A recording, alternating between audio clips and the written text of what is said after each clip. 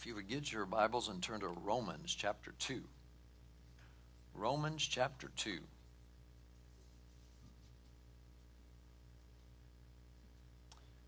I heard about a woman who wanted to have her portrait painted. She had decided she was going to have her portrait painted. She hired a professional artist to do that, and she she got her hair fixed just right. She got a makeover actually, and she she got a, a, she wore her favorite dress, the one she wanted to be in the portrait that was going to be in the living room, and and so she's all ready, and the the painter is ready to paint, and and uh, she said, uh, "Well, now let me mention one thing before you start.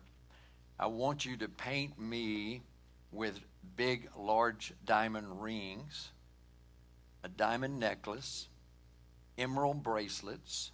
A ruby brooch, and a gold Rolex. And he said, But you're not wearing any of those things. She said, I know that. But in case I should die before my husband, I'm sure he'll remarry, and I want his new wife to go crazy looking for all of the jewelry. and so today we're talking about hypocrisy. Romans 2, I'm going to ask you to stand one more time in, in reverence of God's word. And I'm going to begin reading in verse 1. Romans chapter 2. Therefore, thou art inexcusable, O man, whosoever thou art that judgest, for wherein thou judgest another, thou condemnest thyself. For thou that judgest do, doest the same things. But we are sure that the judgment of God is according to truth against them that which commit such things. And thinkest thou this, O man, that judgest them which do such things and doest the same, that thou shalt escape the judgment of God? Or despisest thou the riches of the goodness uh, of his goodness and forbearance and long suffering, not knowing that the goodness of God leadeth thee to repentance? But after thy hardness and impenitent heart treasurest up unto thyself wrath against the day of wrath and revelation of the righteous judgment of God. I want to bring a message entitled The Hypocrite's Judgment. The Hypocrite's Judgment. And if you would be seated and then get your bulletin out, and on the back you'll see an outline. Have you heard the term playing possum? Oh, you're just playing possum. Well, if you're from the country, especially, you know this. I know it firsthand. You come across a possum, let's say it's laying in the middle of the dirt road and it's just laying there and you, you go to it and, and you would you're positive it's dead because his tongue's sticking out. His eyes are open but they're they're you know they're in the back of his head and and he's stiff as a board and i mean you, you're positive he's dead. You walk away and watch. He'll just get up and walk right off the road. He's just playing possum and, uh, and so let me give you one more illustration. If you ever visit King Tut's tomb in the Egyptian Museum, inside the coffin is another coffin that's covered with gold leaf. And in that coffin, there's another coffin, a third coffin, and then in that one, there's a fourth coffin that's made of gold. And in the fourth uh, coffin is the body of King Tut. And of course, the body is wrapped in gold cloth and that awesome gold mask. But if you remove those clothes and mask, you would just see an old, dried, withered, dead corpse. What you see is not necessarily what you get. The outward thing doesn't change the inward thing. And, uh, and so we're talking about hypocrisy.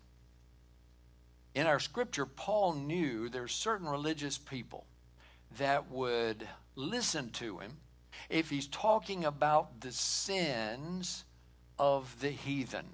And they would pay attention. Matter of fact, they enjoy that. They like that. And the reason why is because they don't think it applies to them. They're indignant about the sins of other people, but they're indulgent when it comes to their own sins. And I am afraid sometimes we're the same way. But look at verse 1. It says, Therefore, Thou art inexcusable, O man, whosoever thou art that judgest. For wherein thou judgest another, thou condemnest thyself. For thou that judgest doest the same thing. So we better be careful about judging other people. Because if we judge other people according to this scripture, we're condemning ourselves. We can all be guilty of excusing our sin. Our sin's just not as bad. You know, my sin is just not as bad as your sin. I've seen some of your sin. Your sin's way worse than mine. I mean, we kind of we tend to think that, you know, ours is just not that bad. But God is saying it's time to examine ourselves. You might have heard of the guy that went to the psychiatrist's office.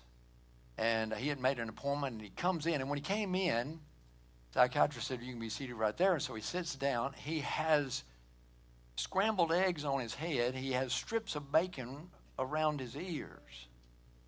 And he sits down, and the psychiatrist, of course, is shocked, but he says, How can I help you? He said, Well, I'm here. I'm not here to talk about myself.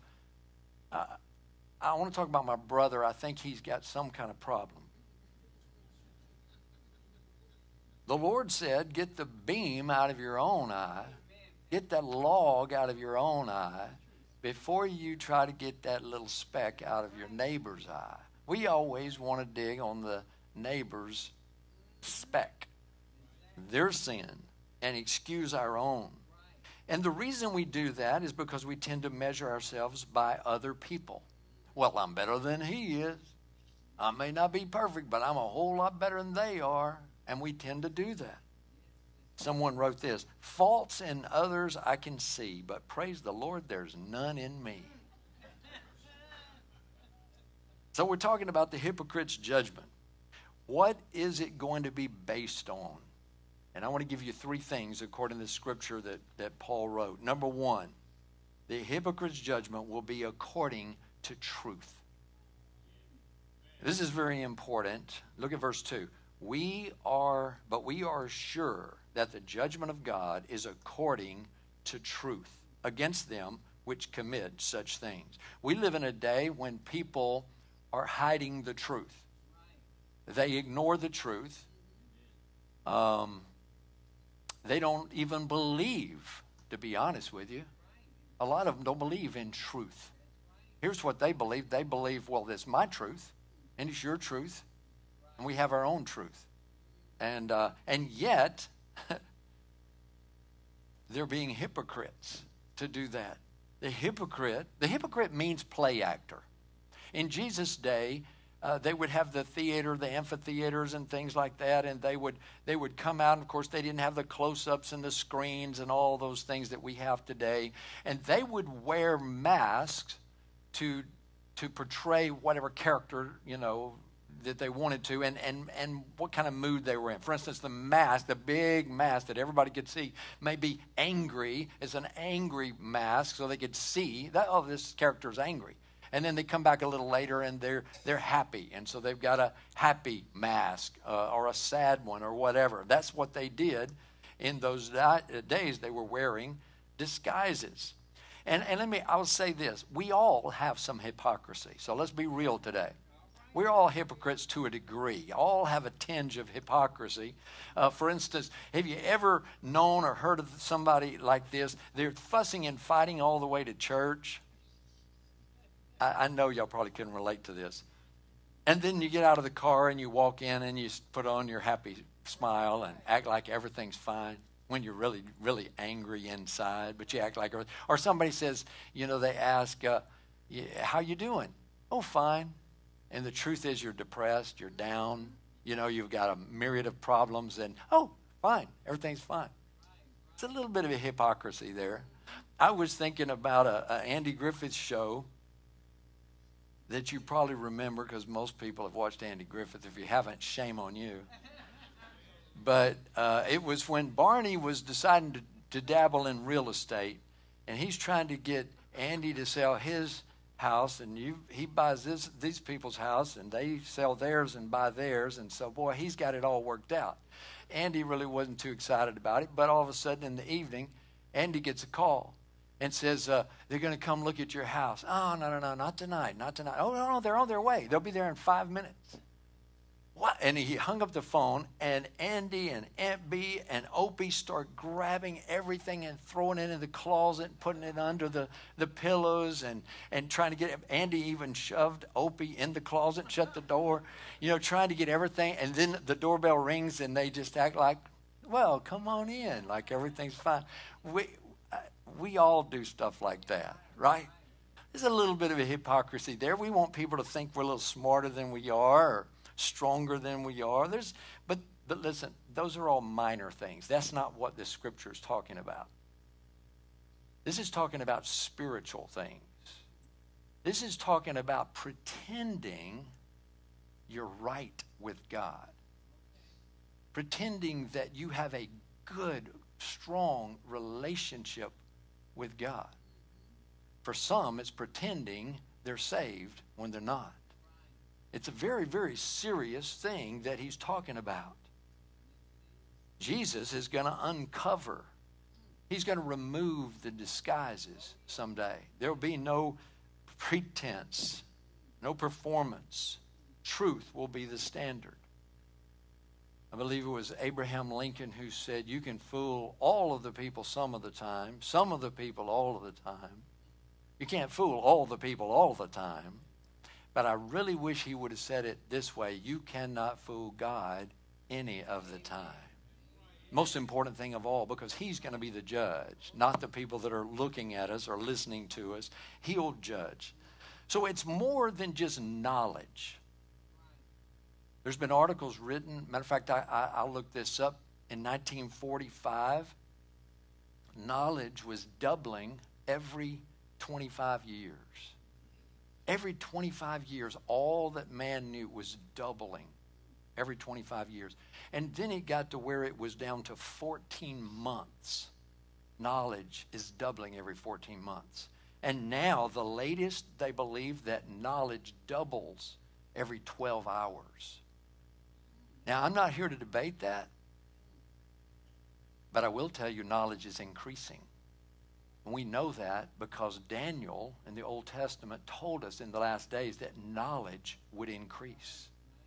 And in 2 Timothy 3, there's a commentary that, that's kind of sad because it says, Men are ever learning and never able to come to the knowledge of the truth.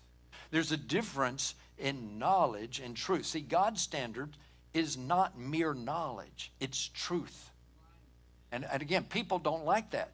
I've seen, I've seen people, uh, I've seen some uh, uh, people asking others, you know, is this true or what is truth? And, and they don't want, well, there is no absolute truth. If you say there's no absolute truth, listen, you just denied this word. That's what you did. Because we stand on this. If I say that Jesus Christ is the only way of salvation, and there is no other way, all I'm doing is saying what he said. And I'm standing on the truth, the truth of the Word of God. And people just, they just, we just don't use the Bible. I'll use the Bible. I'm thankful for, the, for God's Word, and it is truth. God has written the Bible. And you know, it's called the Word of Truth. He's given us the Holy Spirit, and He's the Spirit of truth. God is building his church, and the church is called the pillar and ground of truth. God gave his son, and his son said, I am the truth. John said, I have no greater joy than this that my children walk in truth. Folks, we need to get serious about truth. It is about truth. God's word is true. The hypocrite, the play actor, he's mistaken if he has this idea that it's what's on the outside, it's what people see. That's what matters. No, it's what God sees.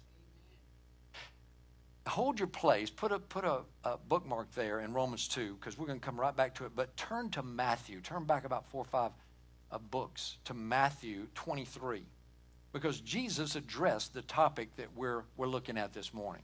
Matthew 23.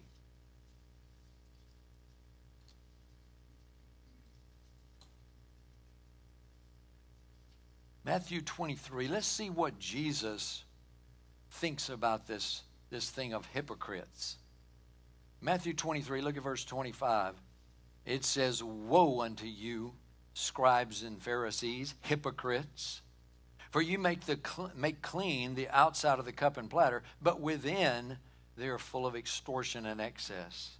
Thou blind Pharisee, cleanse first that which is within the cup and platter, that the outside of them may be clean also. Woe unto you, scribes and Pharisees, hypocrites!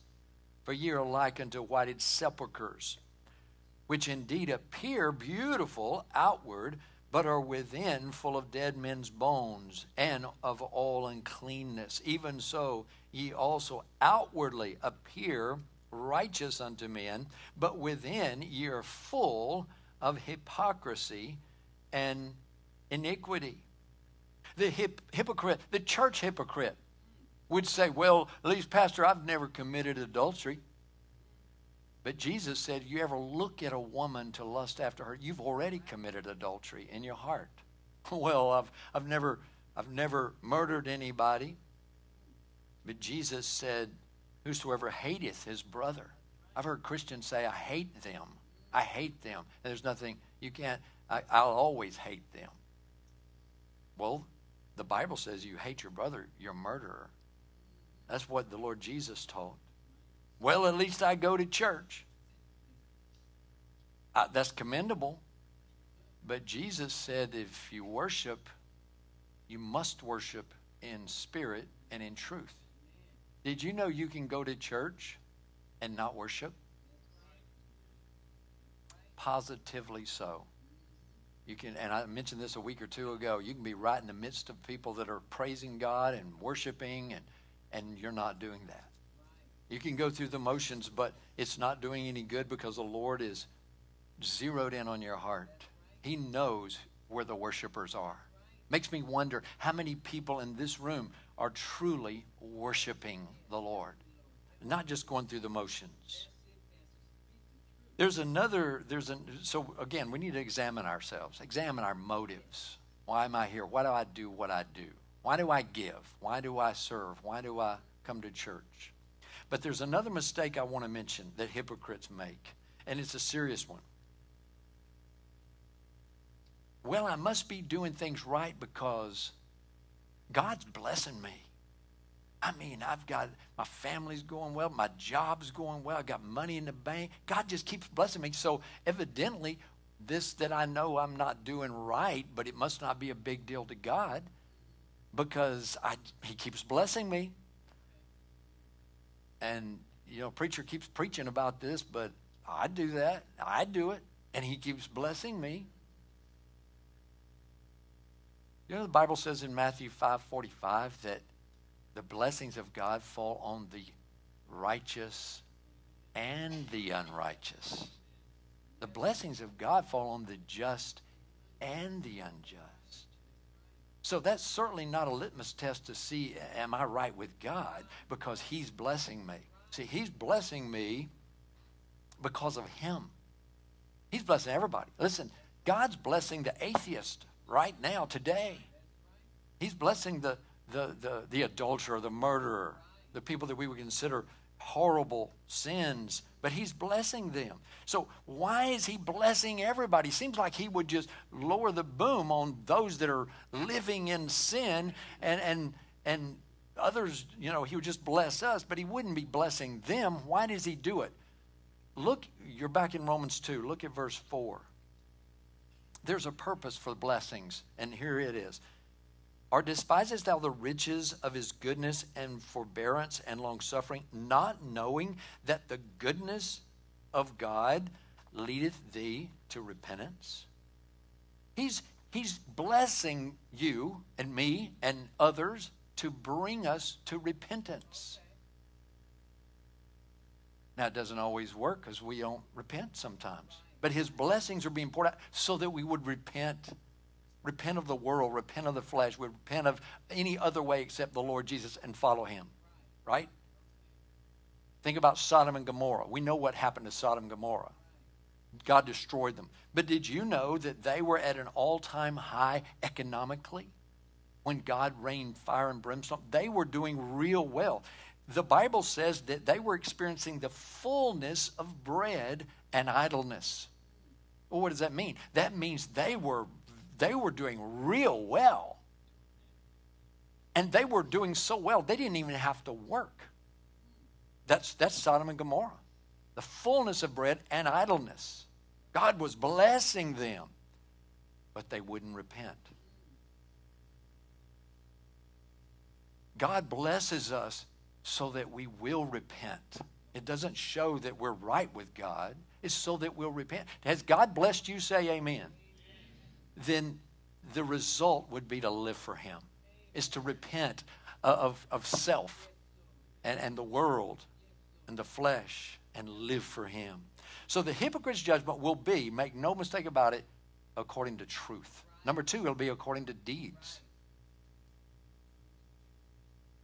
It will be according to deeds. Look at verse 6. Who will render to every man according to his what? His deeds. God is going to render every man according to his deeds. Every man, woman, boy, girl. Now, we're not saved by works, but we will be judged according to works. And somehow, sometimes, we tend to think that's for other people. Maybe it's because we're from America and we've just been so blessed. It's for other countries, it's for somebody else. But God's going to judge every, everybody. Look at verse 11. You ought to underline this one. There is there's no respecter of persons with God. There's no respecter of persons with God. Now, what does this mean? It means this whether you're Jew or you're Gentile, whether you are red, yellow, black, white, whether you're from this country, that country, or this state, or that state, whether you're rich, whether you're poor, whether you've been in church all your life or you never go to church, we're all guilty. We're all guilty. All have sinned and come short of the glory of God. There's none righteous. No, not one. You ask, go out there right now and you ask a hundred people, do you, feel, do you feel like you're a good person? You're going to have a hundred people say, yeah, I think so. Why? Because they're trying to do good and, and they're measuring themselves according to other people. So, yeah, I think I'm pretty good. I'm not the murderer. I'm, I don't steal and I don't whatever. So I'm pretty good. That's, that's people's response across the board. They do believe they're pretty good. No, no, no. Here's what you are. You're the same thing as me. You're a sinner. You're a sinner. And so, what, what does that mean? Well, the wages of sin is what? Is death. And that's eternal death. That's eternal separation from God. The wages, your payment, what you're going to get for your sin, no matter how bad or, or you think they are. We're all in the same boat. We need a Savior. We've got all kinds of sins sins of commission, sins of omission, sins of the spirit, sins of the flesh, secret sins. Sometimes we sin and we don't even realize we're sinning. And, and, and it's, you know, you could take somebody that's real respectable, what the world would consider a very good person. But did you know that unless they've been saved, they're in the same boat as the atheist or the agnostic or the terrorist or the person who hates God? They're in the same boat. God's no respecter of persons. Nicodemus is a good example. Nicodemus was morally, civically, religiously an outstanding man. But what did Jesus say? Jesus said, except you're born again, you'll not see the kingdom of God. People say, well, I, my, my grandmother's the sweetest person. She don't believe, but she's the best person you ever, you'll ever meet. I hate to break it to you, but if your grandmother doesn't repent and turn to Christ, she'll perish. We don't like to think that way, but it's true, no matter who it is. The hypocrite's judgment will be according to deeds. And number three, the hypocrite's judgment will be according to the gospel. To the gospel. Look at verse 16. In the day when God shall judge the secrets of men, by Jesus Christ according to my gospel. So, what is his gospel? What is his gospel? I bet you everybody in here could, could say this. Here it is. God so loved the world that he gave his only begotten Son, that whosoever believeth in him should not perish, but have everlasting life. There's the gospel. That's his gospel. It's the gospel of the Lord Jesus Christ. And if that gospel doesn't save you, it'll condemn you. You're going to be judged according to the gospel. You're going to meet Jesus Christ. You'll either meet him in salvation or you'll meet him in judgment.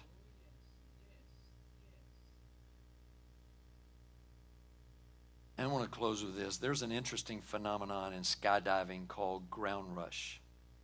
Basically, it's like this. And when you're trained to do some skydiving, you're going to know about this, and you need to know about this.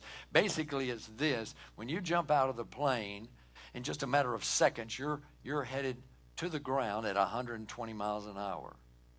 But if you're again, if you don't know, if you're not aware, you would you would be positive you're not falling. You're just hovering. Like there's an updraft there that's that's just holding you and, and you haven't started falling, you're just hovering. The wind has got you stationary and you're not falling. But if you fail to pull that ripcord in time, you'll you'll die. It's very serious. But I'm afraid that, that that's people's view of the spiritual life. For example, and, and I don't know why all. I don't know. I don't know why all. Maybe it's the familiarity of the churches. We got churches on every corner. We've we've the familiarity with God's word. We've got Bibles, multiple Bibles. Some people in the same house. They're everywhere. And we've been to church so many times. We've had so many altar calls and invitations. There's been so many times I'll get another chance. I'm, I've got plenty of time. I'm young. I'm very, very young. Teenagers have that. Young adults think they're going to live for years. But if you wait one second too long, you'll perish you'll perish. Did you know that? There's a second that you better not cross or you'll perish. Likewise, if you wrap yourself in the self righteous robes and you think you're okay and you're good enough, you'll perish. There's none good enough. No, not one.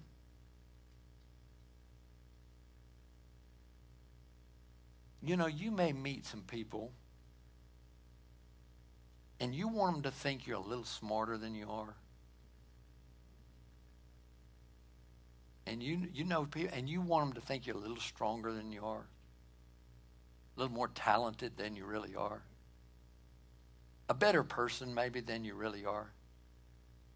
But folks, when it comes to the spiritual life, don't do it. Don't be a hypocrite. Don't be a hypocrite because God's looking at the heart. And, and when we're talking spiritually, we're talking with, about eternity. It's too serious. Let's all stand with our heads bowed and our eyes closed. Don't be the spiritual hypocrite. I hope you'll examine your own heart this morning.